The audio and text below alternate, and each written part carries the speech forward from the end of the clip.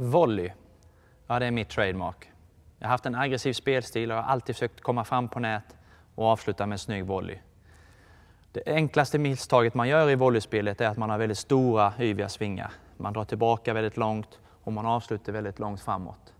Jag tycker det är väldigt viktigt att man har en position där man är lite halvsittande och sedan jobbar man väldigt kort, jobbar mycket med handleden framåt.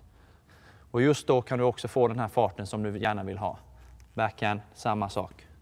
Och jobba med hand, vänsterhanden bakåt så att du får stabilitet. Så tänk på racket fram och så trycker vi undan ett vinnande slag.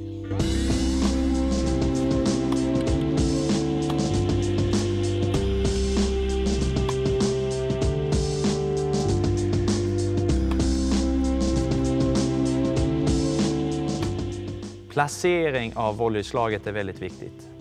Jag lärde mig väldigt mycket av Stefan Edberg som var otroligt duktig på att placera bollen perfekt.